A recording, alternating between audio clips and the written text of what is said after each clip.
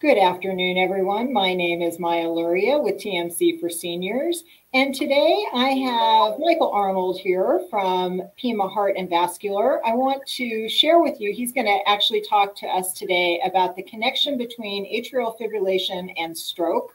Um, Mike, it, Dr. Arnold is an electrophysiology nurse practitioner with Pima Heart and Vascular. And he worked as a nurse in cardiology and the cardiac cath lab for 10 years before earning his doctorate in, in nursing practice at the University of Arizona. Um, he is board certified in cardiac arrhythmia, electrophysiology, um, cardiovascular disease, and family practice. And his clinical practice includes management of arrhythmia, pacemakers, and defibrillators, along with a special interest in device therapies for congestive heart failure. So he has an extensive ex- electrophysiology experience, and that's allowed him to travel across the country as an expert in heart rhythm mapping, and he trains physicians and staff in new techniques and technology. So, welcome, Michael. Hi, thank you. Yeah, so we'll go ahead and let you jump into your presentation here. Great. Hi, how are you doing? I'm Michael Arnold. Uh, we're going to talk about the connection between atrial fibrillation and stroke. Uh, just a little bit of background about myself. Um, we kind of already went over. It, it's enough about me. But, uh, I have no uh, disclosures regards to AFib, but we'll talk uh, kind of a little bit. I want to lay out a roadmap of what the uh, approach would be. One is to talk about stroke, which um, has been around for a long time, but defining it um, has eluded people for a while as far as what exactly it is. And then um, looking at the role of atrial fibrillation and how that contributes to strokes. Um, and then what can we do to try to prevent atrial fibrillation from causing future strokes? And what future uh, opportunities are available for us now? So, uh, a stroke, the medical term that we use is cerebrovascular accident. And that actually has two types. Uh, the, the primary one is a hemorrhage into the brain or the skull. You can see on this uh, MRI image here. The other is what's called an ischemic stroke, and that's reduction of blood flow to the area of the brain. So generally, that can be two types. One is uh, through a gradual narrowing of blood flow through the artery through the buildup of calcium. The other is what we call an embolic stroke, which is a sudden blockage of blood flow to an area of the brain. Um, this can be a piece of calcium off of a calcified heart valve, uh, or calcium in the carotid arteries, or an actual blood clot that comes from the heart. So, in terms of strokes overall, uh, if you present to the hospital with a stroke, uh, neurologic symptoms, 87% of the time it's likely to be an ischemic stroke, 13% are hemorrhagic. And uh, it's actually one of the first medical conditions that was uh, identified uh, almost 2,500 years ago. They used the term apoplexy for a non traumatic brain injury, and uh, Hippocrates wrote about it at times. So, um, we're still evolving the definition as our understanding of the brain tissue and medical imaging gets better. But despite all this, uh, often we can't tell what caused a stroke in most cases. 15 to 40%, depending on the study, of ischemic strokes have no identified cause. We call those a cryptogenic stroke. there's also mini strokes, which you may hear about, and that's uh, technically a transient ischemic attack. And that's when tissue in the brain has a reduction in the supply of blood and oxygen, but it's not irreversibly injured. So the classic definition for that was a temporary episode of neurologic dysfunction that lasted less than 24 hours. And the caveat was that it left no persistent effect. Although nowadays, with the different medications and things we use to treat strokes, you can often have a uh, full infarction and have no persistent effect. So this definition didn't always fit as well. So in 2009, they changed that definition um, to include not only affecting the brain, but also the eyes, and uh, to be a neurological insult that doesn't have evidence of tissue death by imaging. Uh, they took away the 24 hour um, stipulation because uh, they realized the time isn't as important. But strokes are, are pretty significant. It's a high burden in the US. It's number five cause of death when taken separately from other cardiovascular disease. So every three minutes, somebody dies of stroke. Um, and uh, the leading cause of death uh, sorry, uh, leading cause of disability um, in the U.S. Uh, three percent of all males on disability and two percent of all females on disability are on disability due to a stroke. Projections are that by 2030, another 3.4 million adults will have had a stroke. That's 3.9% of the population, and unfortunately, a 20% increase in prevalence. And in particular, uh, white Hispanic males are at highest uh, risk for increase in that population. The factors that contribute to stroke are kind of interesting. Some of them you have no control over, and some of them you do. Uh, one that sort of surprised me uh, in a couple respects is where you live. Arizona ranks ninth in the country for risk of death from stroke. And I often get nervous when I hear Arizona on these lists in terms of risk and where they fall. And does nine mean we're in trouble, or does nine mean we're good? Actually, in the uh, the top ten in terms of the lower numbers. So uh, we did pretty well. Um, it's actually interesting. If you look at the country as a whole, there, there's sadly what they call a stroke belt in the southeastern United States, where you can see how the prevalence of stroke is extremely high. Um, for us in Pima County, we actually do pretty well, and our numbers are relatively low, on par with the uh, Northeast. Other non-modifiable risk factors your age, unfortunately, uh, your gender, uh, race and ethnicity, and sometimes genetics. Sometimes there's inherited, especially when it comes to hemorrhagic strokes. Um, other factors, lifestyle factors like smoking, diet, inactivity, and drug use. Um, those are things we can modify to reduce our stroke risk. And then comorbidities. So, uh, high blood pressure is a very, very uh, common one in both ischemic and hemorrhagic strokes, uh, cardiovascular disease, diabetes, kidney disease. Uh, there's a larger role being recognized now in uh, sleep apnea in terms of stroke uh, genesis. And uh, with that comes obesity, which can also contribute to diabetes, hypertension, sleep apnea. One of the biggest comorbidities we have to deal with is atrial fibrillation in stroke. That increases the risk of stroke from two to seven times uh, if you take all other risk factors being equal. So, you know, same age, same gender, ethnicity. Um, if you have a history of atrial fibrillation, your risk can be up to seven times higher. Um, there's a large meta-analysis of 50 studies uh, that showed that occult AFib, which means AFib that nobody knew was present, was detected in 24% of patients who had an embolic stroke where the cause wasn't originally identified. And unfortunately, up to 80% of those first AFib episodes were asymptomatic and people didn't know they had them. So we've got this sort of double edged sword here of a very high risk uh, due to atrial fibrillation and the potential that you might not even know that you have it. So that gets into what atrial fibrillation is and, and the role it plays in stroke genesis. Uh, atrial fibrillation is an abnormal heart rhythm that's triggered by electrical impulses at the top of the heart, which are called the atria. Obviously, uh, there's very high prevalence, and uh, almost all of us probably know somebody with atrial fibrillation. Uh, I'd say about 5.2 million people in the US in 2010. That number is projected to be over 12 million by 2030. Uh, 1.2 million new cases diagnosed per year in 2010 up to 2.6 and uh, likely uh, 700,000 people a year who go undiagnosed who have AFib and don't know it.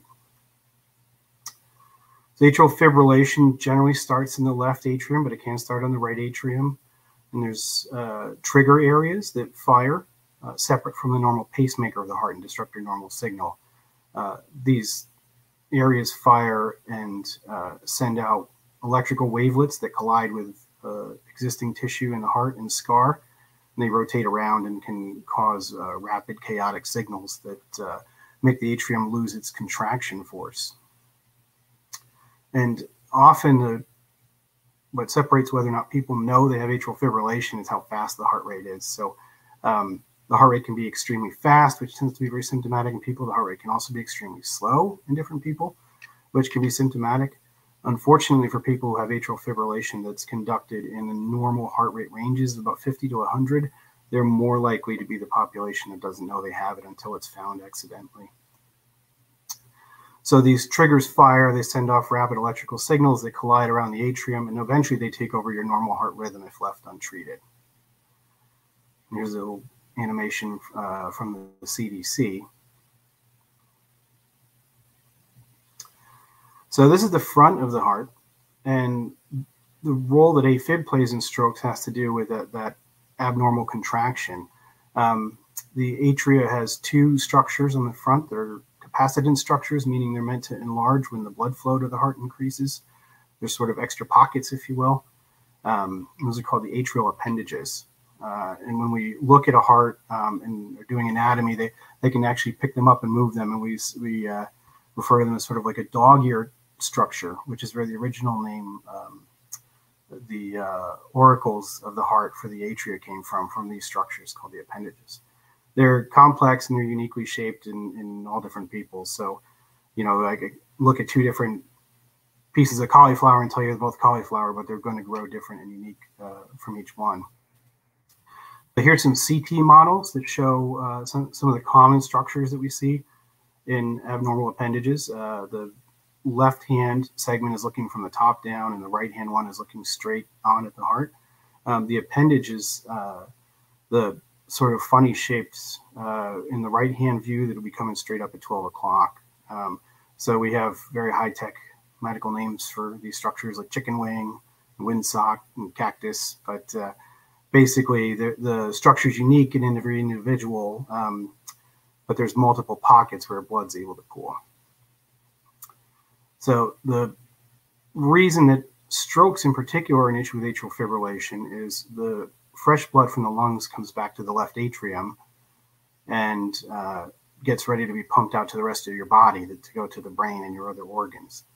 Um, but when the atria is fibrillating and contracting rapidly, uh, the velocity in, of the blood moving slows way down, and it actually starts to move in very different and chaotic patterns uh, that causes uh, the uh, blood to stagnate and in some cases form clots. So um, this is actually looking at the flow dynamics of blood in the heart based on different uh, appendages and um, atrial fibrillation versus normal rhythm. And you can see that how chaotically the flow of blood is in atrial fibrillation. So when this happens for any extended period of time, the blood's able to form clots. And unfortunately, those clots um, tend to happen in the front part, that front pocket called the appendage. Uh, that's the site of more than 90% of uh, clots that we find in the heart that eventually form strokes.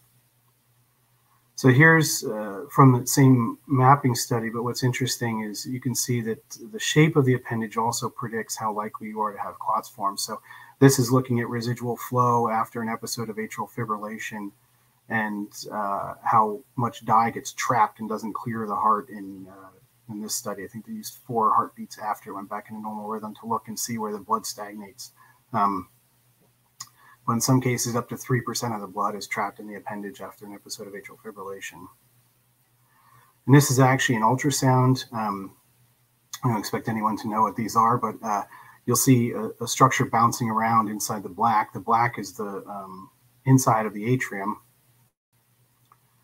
And you can see a clot bouncing there, and it's about to cross the valve and go into the ventricle, from which point there it'd be ejected out and go to the heart or the eyes, the arms, spleen, kidneys, so AFib through this mechanism is what contributes to most of the strokes, one in seven strokes um, per year. And because of the nature of these, where they're not small pieces of calcium that are um, leaving the carotids, for example, or the valves and going to the brain, they tend to be large, uh, well-formed clots. These strokes tend to be much more severe than, than strokes from other causes. Um, the Veterans Administration actually looked at a study with patients who had no previous diagnosis of atrial fibrillation but had pacemakers and defibrillators, uh, which act as a sort of ongoing heart monitor. And they found that uh, in those who even had brief episodes of AFib, less than five minutes, um, they were at a four to five times uh, increased risk of stroke over time. And that uh, risk is highest in the first five to 10 days after the episode. When they look at patients who have AFib that's discovered accidentally, and this is another study that looked uh, just in people who either pre-op or post-op for surgery um, atrial fibrillation, the risk of stroke can be significant and almost double in some cases. And what's interesting, we see that the risk in non-cardiac surgery is higher than the risk in cardiac surgery. Part of that has to do with the fact that when we do open heart surgery, we often see people have transient episodes of AFib due to inflammation in the heart. Um, so atrial fibrillation that happens after heart surgery is not necessarily felt to be um, always uh, significant. We call that lone AFib. Um, but if you're in for knee and you're found to have atrial fibrillation, we can't blame it on the surgery. In many cases, it probably means you have the mechanism for AFib and you may have had it all along and never been diagnosed. And the type of atrial fibrillation you have does matter. Um, persistent atrial fibrillation, which is once atrial fibrillation is ongoing and all the time, puts you at a higher risk than paroxysmal atrial fibrillation, which is intermittent episodes where people have coming and going sort of AFib. Sometimes they're aware of it, sometimes they're not. And that risk is even higher even if you're anticoagulated. Uh, there's atrial flutter, which is a more organized atrial arrhythmia, but closely related to AFib, and often the two occur together. So if we see atrial flutter in a patient, uh, we expect they would have a 50% risk of developing atrial fibrillation over the next five years. Um, but even just in atrial flutter and standalone cases, the risk of stroke is two to three times higher. So we would uh, treat your stroke risk the same, regardless of whether it's fibrillation or flutter. And then there's other atrial arrhythmias, and this isn't well understood, but even without documented atrial fibrillation, have a, a, a double risk of stroke. Um, some of that is a question of whether or not there's arrhythmias that just aren't documented, or if uh, it has to do with uh, frequent enough arrhythmia that causes some of the same mechanisms as slowing of the blood flow. So the other comorbidities that increase your risk of a stroke from atrial fibrillation are renal dysfunction, uh, congestive heart failure, hypertension. The risk of a stroke uh, due to AFib goes up with your age. So over 65, uh, your risk is up 1% higher. Uh, 75 and up, your risk is uh, double that. Diabetes in particular is another factor that increases your risk of stroke. And unfortunately, even prediabetes, which is a fasting glucose of 110 to 125, uh, can significantly increase the risk of stroke. Having a previous stroke or a TIA um, is pretty significant. So, in people who had a TIA only initially, their one year risk of having a stroke after that TIA was 5%, and their five year risk of having a stroke was 9.5%. So, we often look at TIAs as a warning sign that you have the mechanism there for for an additional stroke and it needs to be evaluated, regardless of how transient the episode truly was. Uh, vascular disease like heart disease, uh, blockages in the carotid arteries, blockages in the legs all contribute to that. Unfortunately, uh, female gender puts you at higher risk. Um, so women have a 20% risk of stroke, lifetime risk of stroke, uh, compared to men in the same age range. So to figure out the risk of stroke in a patient, we look at all those comorbidities and the guidelines we use now from American Heart Association, the American College of Cardiology. Um, use what's called a CHADS VASc score, where we add up points whether you have congestive heart failure, if you have high blood pressure, your age, diabetes or prediabetes, all of these, and it comes up with a, a uh, score that translates to a stroke risk. So, for example, if you're a, a 65 year old woman with high blood pressure, you have a 3% risk of stroke, um, one point for each um, over the next year without being anticoagulated. So, in terms of reducing this risk of stroke, there's a couple of different approaches to take. Um, one is just to prevent the clots from ever forming to begin with. Um, and one avenue for that is trying to detect atrial fibrillation as early as possible. Frequent screening, uh, there's different screening programs. Uh, Apple Watch has an atrial fibrillation screening algorithm on it now. Um, it's much, getting much more common, fortunately, now when people go in for their yearly physical with a primary care doctor to get an EKG done. Um, an EKG, unfortunately, only gives us a snapshot of what your heart rhythm is in that moment. Um, so, prolonged monitoring is also an avenue for us to detect atrial fibrillation. And of course, um, I tell patients uh, a heart monitor sometimes is the best antiarrhythmic medicine there is because we put it on you for a day and nothing happens. Um, so the longer we allow for monitoring time, the uh, increased rate of detection of atrial fibrillation. The other way to prevent uh, stroke and atrial fibrillation is to stop the atria from fibrillating to begin with. Um, there's two approaches to that. One is medication, um, and uh, medication can range from anything like beta blockers uh, and calcium channel blockers, which just slow the heart down but don't necessarily stop arrhythmia, to uh, antiarrhythmic drugs like flecainide or amiodarone, which suppress the ability of the atrium to fire rapidly. So those rapid little wavelets that we show in that other uh, diagram aren't able to perpetuate themselves, and the heart eventually will settle back in normal rhythm.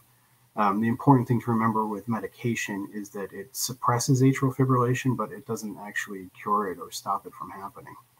And unfortunately, the triggers in the heart um, are still present. Uh, you're just using the medicine to to keep them under control. So often with medication, it's not a matter of the medicine losing effectiveness per se, but uh, the factors in the heart that cause you to go into AFib to begin with are uh, becoming more prevalent. So the next option would be ablation, uh, which we use as a, as a tool to ideally eradicate AFib altogether. And this is just looking at uh, the likelihood of, uh, this is sort of a funny way to look at this, but they call it the freedom from recurrence of AFib. So in this case, the higher the number, the less likely you are to have AFib, be free from AFib. The lower the number, the less likely you are um, to be free from AFib and have more of it. So in this case, the blue line is medication the red line is ablation, and there's a clear difference in the expected outcome um, using ablation in lieu of medication to reduce the risk of AFib. The other approach um, initially with atrial fibrillation was often just leave it alone, especially if people weren't symptomatic. But uh, given the risk of stroke, and then there was uh, another study out in 2017, I think it was Castle AF, which showed that uh, even in people who have rate controlled atrial fibrillation, it's asymptomatic, the risk of heart failure and mortality actually does go up, leaving somebody in atrial fibrillation. Um, so often, if you've been in atrial fibrillation for years, there's not much we can do to stop it. But the sooner we can identify atrial fibrillation and prevent it from happening, uh, the lower mortality and the uh, likelihood of reducing your risk of stroke. So then the other focus would be, you know, if, if we can't prevent, um, you know, we can't detect AFib or you have AFib and we can't stop it, um, the other options are trying to prevent the blood from coalescing uh, to begin with. Um, and the most common way we do that is using medication to prevent these clots from forming. so we use that CHADS VASc scoring tool um, that I showed you earlier. It's based on your risk factors um, to figure out whether or not you're appropriate for anticoagulation. If you have a score of two in a, a man or three in a woman, um, then uh, in that case you would uh, need anticoagulation to reduce your risk of stroke or be indicated by the current guidelines. Um, if, for example, you're a 55 year old, otherwise healthy woman with atrial fibrillation and no other risk factors, you technically have a score of one. Um, but in that case, they say it's uh, reasonable to omit anticoagulation therapy because your risk of a um, stroke is about 1% and your risk of, of bleeding is about the same. So when we look at choosing agents, aspirin uh, was one of the ones originally we used to use all the time. It's not even really an anticoagulant per se, it's an antiplatelet agent. Um, and that's really fallen out of favor for a number of reasons. Um, one of the big ones is looking at the rate of stroke um, using aspirin versus using an anticoagulant. So um, in this case, the red line is a higher rate of stroke over time, and the black line is uh, red line is aspirin, and the black line is uh, Eliquis or Apixaban. So you can see there's a significant increase in the rate of stroke using aspirin. The other argument to using aspirin in lieu of a proper oral anticoagulant would be to reduce the risk of bleeding. Um, but actually, when you compare the two side by side, it turns out that the rate of bleeding is uh, really not certainly what we would say clinically significantly higher for an anticoagulant than aspirin. So, unfortunately, opting to use aspirin for stroke prevention, you're accepting all the risk of bleeding without really any of the benefit of producing uh, reducing your rate of stroke. So, aspirin's really fallen out of favor. You know, especially the old baby aspirin, which it's funny because we call it baby aspirin, but you can't even give it to babies. Uh, it causes Reye syndrome. So it's definitely got its place in certain things. Um, you know, we use it for uh, people who've had prior heart attacks, stents, bypass surgery, people who've had strokes due to blocked uh, carotid arteries or carotid artery surgery. But in terms of stroke prevention in AFib, it doesn't really have a role anymore in the modern era. Even people have a risk score of uh, one or zero the old guidelines used to say to give them aspirin and no longer um, is that recommended. So the old standby uh, outside of aspirin for decades was warfarin um, or Coumadin, uh, which is a very, very potent blood thinner. Um, I didn't realize until looking at this, this uh, warfarin actually says it's bacon and cheese flavored, which may get some more people interested in taking it, I guess. but uh, yeah, so rat, warfarin was literally rat poison. Um, is literally rat poison. Um, it's uh, a good anticoagulant. It's very potent. It blocks numerous parts of the clotting cascade. But unfortunately, um, the rate of bleeding on warfarin is considerably higher than the rate of bleeding on the new anticoagulants. And uh, ironically, the rate of stroke in warfarin uh, is actually higher than with the new anticoagulants as well. So, you know, that's sort of the inverse of the aspirin situation where you're accepting more bleeding risk and a higher rate of stroke to take aspirin over the newer medications. So the newer ones, now they use the term, it used to be NOACs, and then they, they realize it looks like you're writing no anticoagulation. They changed that now to DOACs, which stands for direct oral anticoagulants. Pradaxa was the first one to come out. Um, since then, there's been Eliquis, Savaysa, and Xarelto. Um, all of these uh, have a limited effect on the clotting cascade, but in particular, they block uh, clot formation due to stagnation of blood. So um, they have a big role in atrial fibrillation and stroke prevention. Uh, they've subsequently been approved for uh, deep vein thrombosis or DVT prevention in people after surgery, uh, as well as treating blood clots in the lungs. And um, we're seeing that role even expanding now to clotting uh, due to other disorders.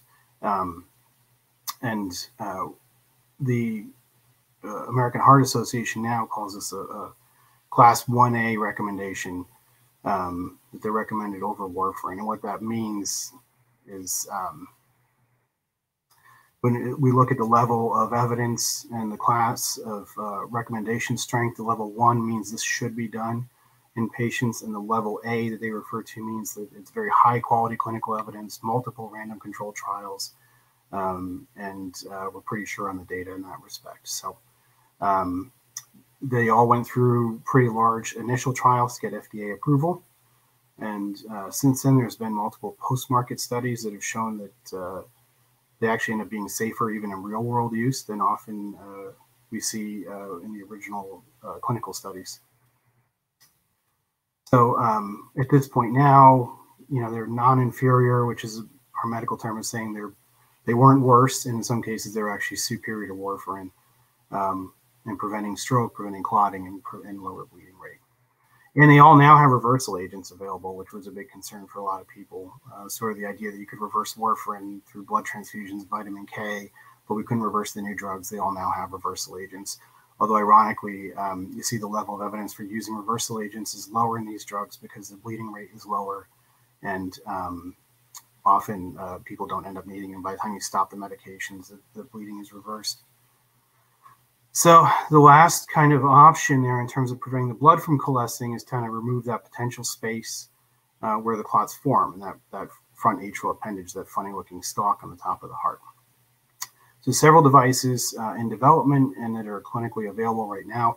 Um, A is the Watchman device, which is which is out uh, from Boston Scientific, and that's uh, put up through the groin, as are the um, amulet and the lariat um, devices to some extent. Um, the Boston Scientific one's the only one out in the market right now, but that's a plug that goes into the left atrial appendage.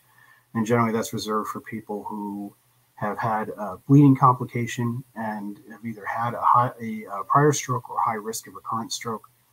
And the this um, rationale based on the clinical study was that it's better to use this. It doesn't do as good a job preventing strokes as an oral anticoagulant, maybe, but it's better than using nothing.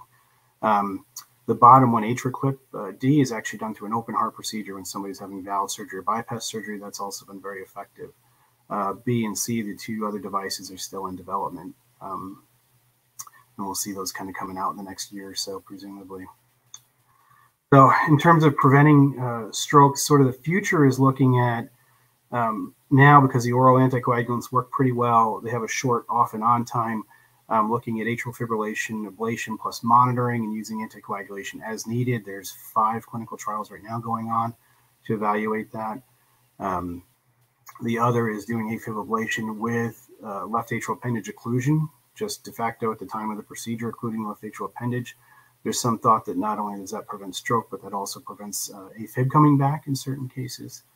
And uh, we have a clinical trial that's just starting at TMC uh, now uh, for elective left atrial appendage occlusion. Um, so as I said earlier, the criteria right now is you had to have had a bleeding complication and a stroke or extremely high risk of stroke. Uh, this study is looking at people electively who'd like to have the left atrial appendage occluded um, without taking an anticoagulant or having a prior history of bleeding to then compare over time the, the rate of stroke in these populations.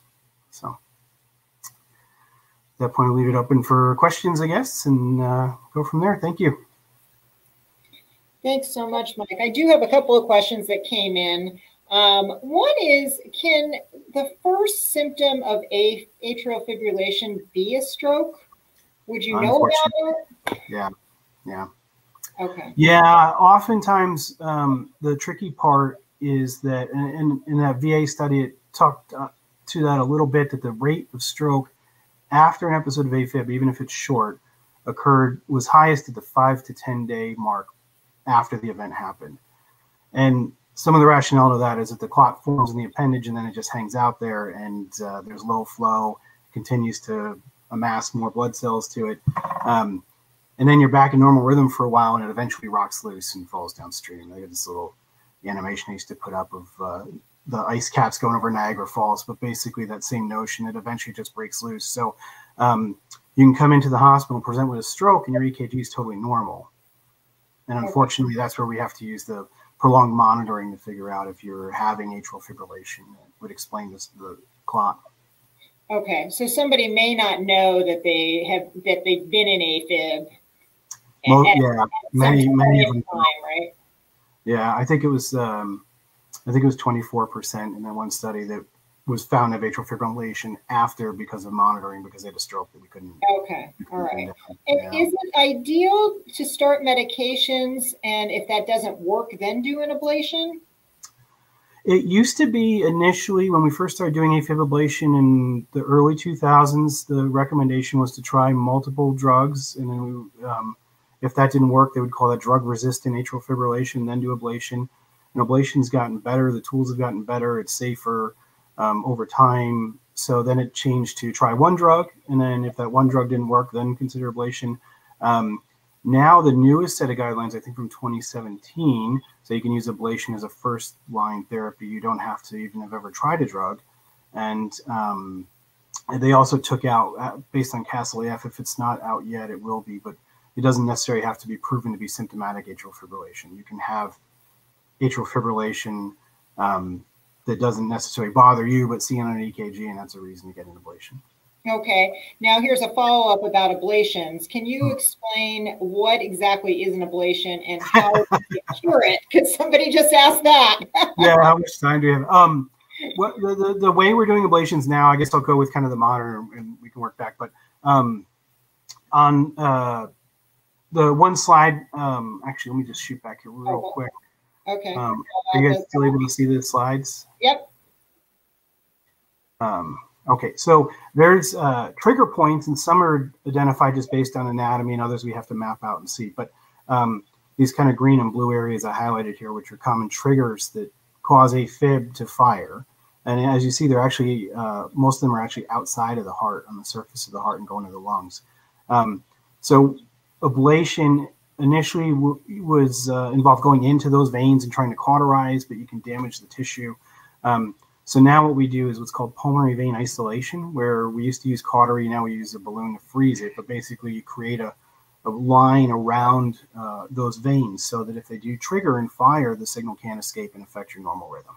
And that's all done through the groin. There is a version that originally started with open heart surgery. Um, there's still what's called a maze procedure, which is what ablation is actually modeled after. And some people, when they have bypass surgery or valve surgery, will get a maze if they have a history of atrial fibrillation at the time. They've got the hood open on the car, but uh, otherwise we do it through through catheters in the groin.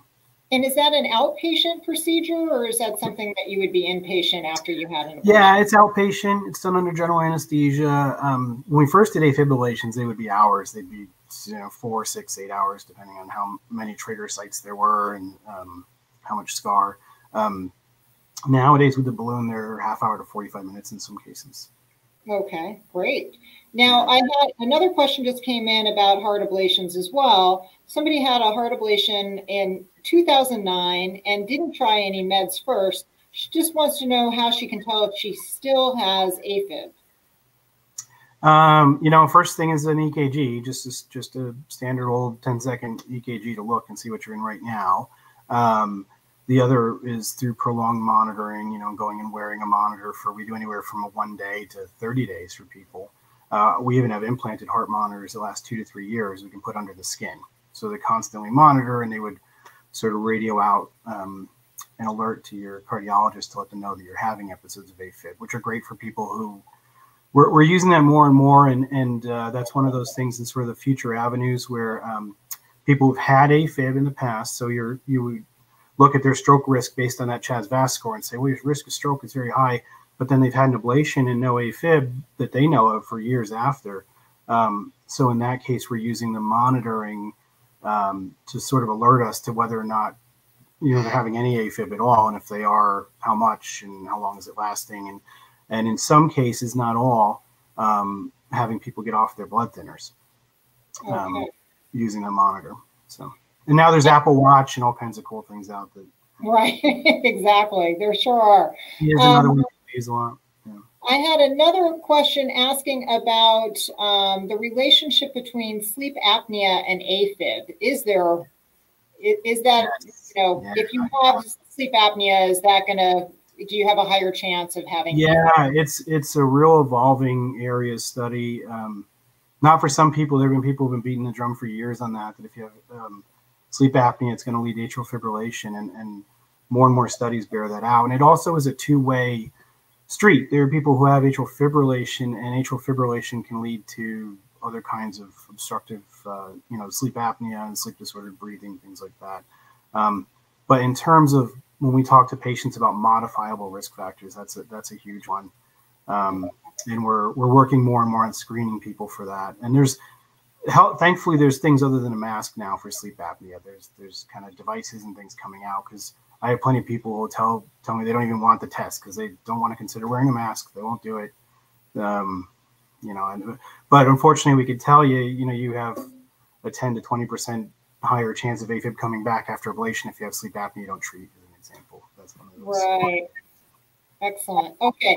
Can you go ahead and put up the uh, phone number for Pima Heart and Vascular, um, you'll see it on your screen there. It is 520 838 3540. Uh, so if you are interested in an appointment with Pima Heart and Vascular, please give please give that number a call. Um, and I think I've answered we've answered all the questions. Thank you so much, great. Mike. That was, that was great. It was a great overview um, of how important it is to really look at the you know that relationship between AFib and stroke. So we appreciate you being here today. Um, we do have another presentation tomorrow if you are interested in joining us. Um, it will be the importance of socialization for brain fitness um, at 10 a.m. on Tuesday, March 23rd. So we hope to see you then. Thank, thank you again, Mike. Thanks a lot. Thanks for having me.